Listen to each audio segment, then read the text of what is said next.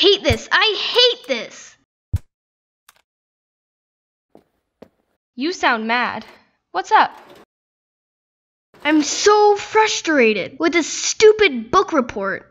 Today in class, Miss Moretti told me that I had better get going, or I'll never be done on time. But I don't know what to do first, what comes next, or even what it's supposed to look like when I'm finished.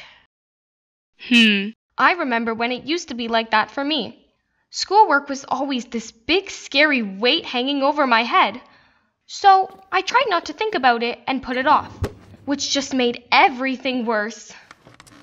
That's just what I did for the past three weeks. And now I just have three days to finish. So, have you even read the book? Yep. Mom made me read her a chapter every night.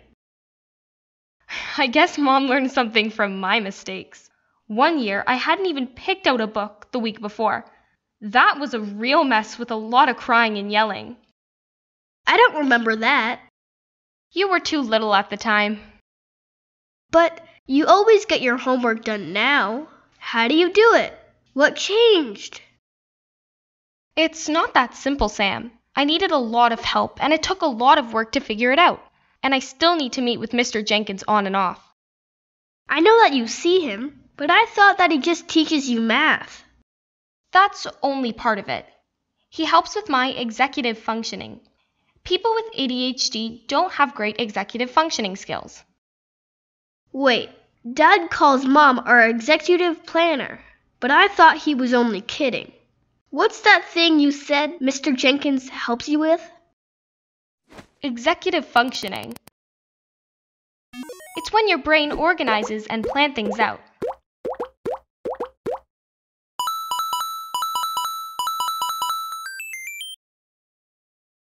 It helps us to keep track of things. Hmm.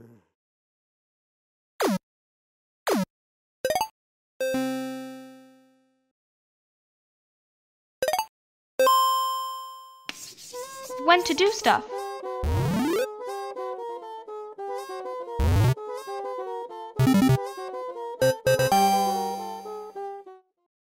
And how to solve problems.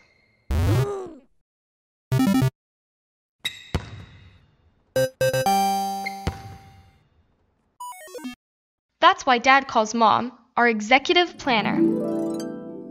She organizes all of us. Makes sure that we're on time. Helps us put things in the right place so we can find them.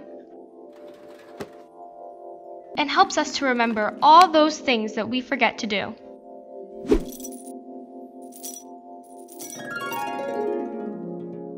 Wow! I knew that she did all of that, but not what it was called.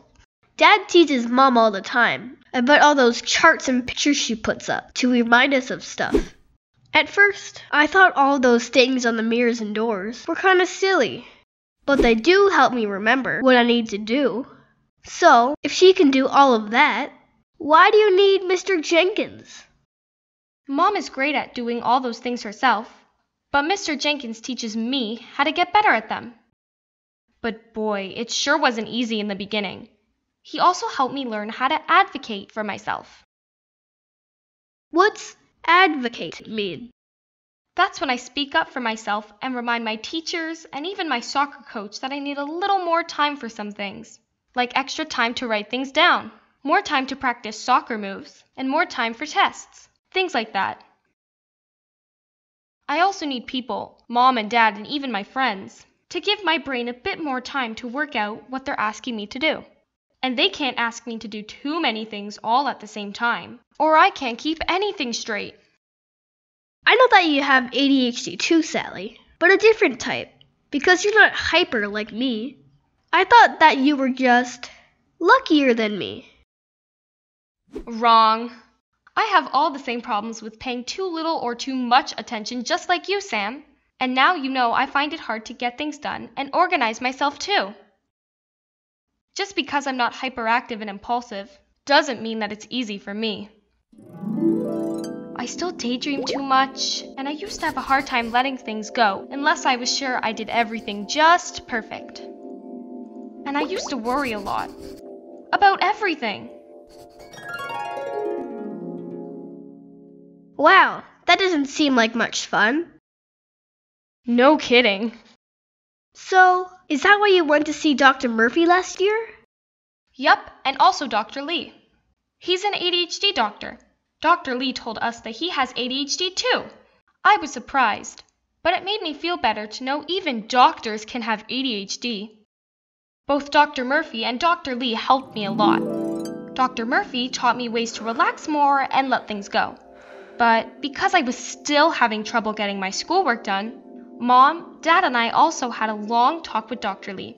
We decided to try some medication to see if it would help me pay attention. Now it's much easier to stay focused on what my teachers are saying and what I need to get done. Hmm. I heard Mom tell Dad that she thought it was time for me to see Dr. Lee too. She said that all the other things are in place, but I'm still having some trouble. But I'm not sure that I wanna take pills. I was a bit worried about that too, and it might take a few tries to find the right ones. You remember when I had those headaches and was kind of touchy? Sure do. You were a real grouch. Well, we were trying to find the right pills, and the first two we tried weren't the best for me. But I think we found the right one now because things are a lot better. You know, Sam, you might not have to take any pills, and if you do, you might find the right one on the first try. Kids with ADHD are all different, so there are all kinds of different things you can do to help them. You just need to figure out the best ones for you. But you have lots of people to help you do that. Thanks, Sally. I was kind of worried about seeing Dr. Lee. No problem. What else are big sisters for? But what about my stupid book report? Okay, let's see if we can break it down step by step. That's what Mr. Jenkins always says.